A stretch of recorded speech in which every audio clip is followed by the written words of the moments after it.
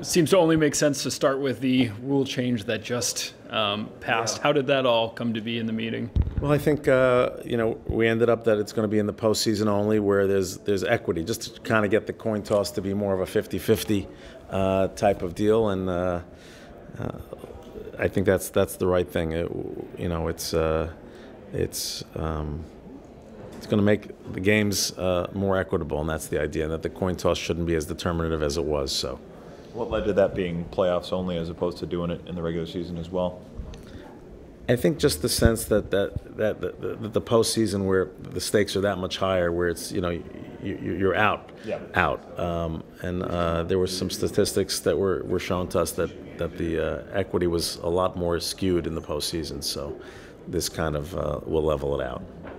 We haven't talked to you since the hiring, so I guess to go back a little bit, um, how do you look at everything that's happened um, so far through free agency?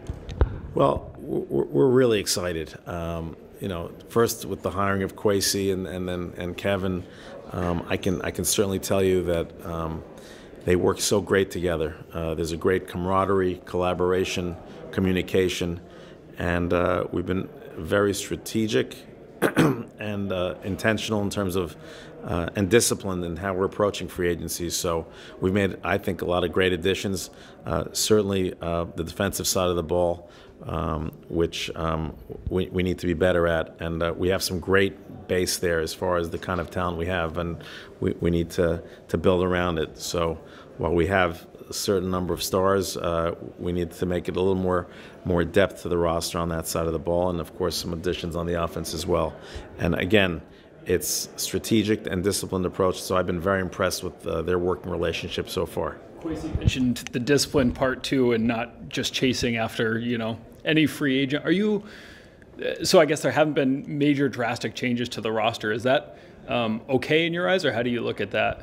Well, you know, it depends what you say by drastic, uh, uh, or I'm not sure what that exactly refers to. We've really had a lot of players uh, that we've picked up here um, that are going to be very helpful to the roster. We're, of course, going to build through the draft as well. So, uh, and also uh, some restructures we did and some extensions we did with some of our key players that we have allowed us the flexibility to do that. So all of that combines, and, and we as ownership, our job and our role, and we've, we've told uh, and, and Kevin and uh, everyone in the building knows we're going to provide whatever resources are necessary to maximize our competitiveness. So, uh, and I, we have a lot of trust and confidence in Kwesi, Kevin, Rob Brzezinski, all our football operations, our, our scouts, our personnel folks. So, uh, uh, again, we're, we're excited. You mentioned the some of the restructures and extensions. The, the extension for Kirk specifically, what went into the decision to do that versus just letting him play it out and seeing what happens after this year? Yeah, well, obviously, like any negotiation, you know, Kirk's an excellent player at the quarterback position, which is so critical. And uh, when Kwesi and, and, Kevin took a look at it, and, and, they had conversations with us as well, there, there was a back and forth, and, and, and that extension uh, gives us the flexibility in this year uh, to be able to do more. And I think um, I have a lot of confidence, and I know Kevin does, that uh, we're going to build a great offense around him. We already have so many great weapons and tools on the offense, and with Kirk, we can really we can really uh, go far. How much did that relationship between Kevin and Kirk that already exists factor into the decision you guys made there? I think it's a big determinant. Uh, he's our head coach.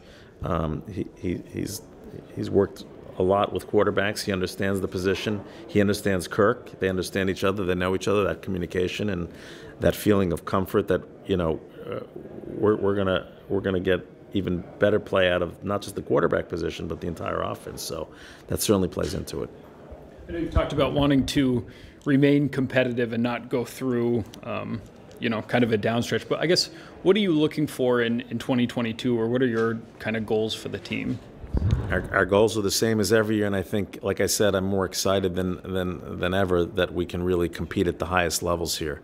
Of course, winning the division is first and foremost our goal, and, and from there, that's where you get into the dance, and, and anything can happen, and that's where we want to be. So, um, like I said, um, this is a uh, you can label it a million different ways but we have a lot of great players on our roster and i think when we went through the process with hiring a gm hiring a head coach i think we were an attractive team for that reason because we have that base. But we have to build around it, and there's always evolution and and uh, and change. And I, I, now that free agency is, you know, we're always looking, but now we're, we're coming off of this meeting, we're going to be heading towards draft, and uh, we know there's going to be a lot of talent there to help us as well.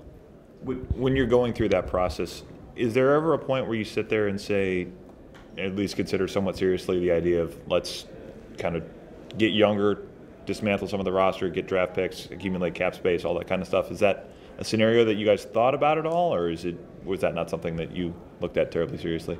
Again, from our standpoint, without getting into all the all the weeds on, on, on all that, you know, a lot of confidence in Kwesi and Kevin to be strategic and disciplined on that, and that's that's part of it.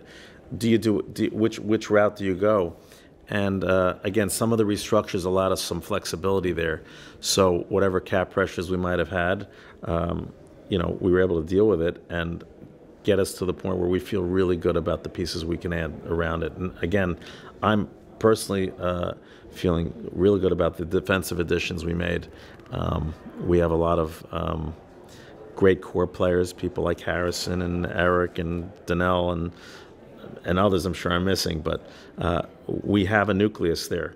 And to build around it with free agency and draft combined, uh, it's a combination in the end. Um, you can't say it's either this or that. It's about strategic discipline and seeing where the strengths are in the draft and where the strengths are in free agency. And the bottom line for us is we feel great about the hires. Kwesi and Kevin are really working so well together, and the whole building feels it. Uh, the scouts, the great coaching staff we've put together. I'm sure you've gotten to spend some time with some of the folks, and uh, we really feel good about where it's where it is now, uh, two months out. A few years ago, one of these, we talked to you about your interest in potentially one day um, hosting the combine or a draft or something like that.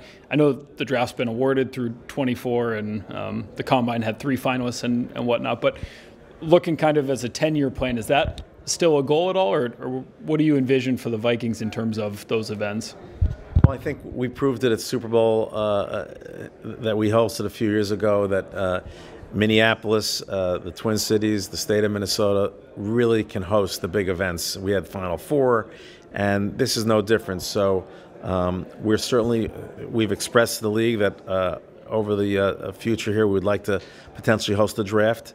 we think it'd be a very exciting situation. I know our, our neighbors in the north in Detroit were awarded the 24 draft, so certainly we've expressed our interest. Uh, we understand there's a process to it, and uh, whether it's draft, combine, or any of the big events, I know our business community, our fans, uh, everyone is so great at these big events, and we can pull it off, and we're going to keep pushing for those things. Have you guys put in formal bids beyond 2024, 2025 for any of those events? Uh, not as of as of right now. I think the window for 25, 26, I think they're they're kind of set in that framework. But certainly, as, soon as the process beyond those years opens up, we're going to certainly re re uh, re express our, our interest. Um, I know you and Rick had a good relationship and talked. I think he said every day. Are you kind of building that with Kwesi now? Are you guys talking every day, or what's it been like to, you know, for the first time in more than a decade, have a new kind of point person that you're working with? Yeah, well, certainly such such great respect for Rick and uh, uh, the professional. Uh, he has been for the Vikings, really put his imprint on our football operation, and and what a great uh, legacy he, he, he, leaves the Vikings. And, you know, now with Kwesi, we have um, certainly a, a, great relationship. And as ownership, uh, we don't meddle, but we certainly want to be aware of what's going on. And I do have a regular communication with Kwesi and Coach O'Connor and uh, O'Connell, and uh, it's it's uh, it's going smooth. So we, are going to keep plugging, keep keep working um, to maximize our ability to give the fans what we're all dreaming of. Anything else from the meetings or anything that's worth touching on? Um, I, I will say, uh, as far as the, meetings, it's good to be back in person. And uh, when you look back for certainly for Vikings fans, um, we're very proud of our organization and how we've done our part uh, through this pandemic. Whether it's working with the governor on in U.S. Bank and uh, uh, you know even in our own staff to, to get through this, um, there's been a lot of sacrifice, a lot of um, people have suffered through this pandemic in a personal and very real, real way. And uh, you know, providing entertainment at the Vikings, being part of the community to help people get vaccinated or or get certain messages out. Um, we're, we're, we're hopeful that things hopefully will are improving, and uh, we're excited in 21 that the fans came back, and we're certainly looking forward to great 22. The new uh, diversity initiatives that the league announced yesterday, what I guess went into the thought process of we need to make that a position on the offensive staff specifically, where you're adding a new coach of a, either a female or somebody of a diverse background this year. I think statistically, uh, there's a sense that. Um, minority coaching candidates were pr- pretty much coming. Uh, there's at the coordinator level, which is typically a platform for head coaches, a significantly larger representation in defensive coordinator positions versus offensive. So I think this initiative is to create a larger pool um, of offensive minority candidates that could be a potential for head coaching. It's to, to try to improve the numbers at the head coaching level. And uh, there seems to be a trend, and I guess we're part of it, where a lot of offensive coaches uh, get elevated to head coaches. I don't know all the numbers, but there didn't seem to be the, the, the, the there seemed to be an imbalance uh, on the offensive side, and that's that's kind of where they came out to, to promote that with this proposal.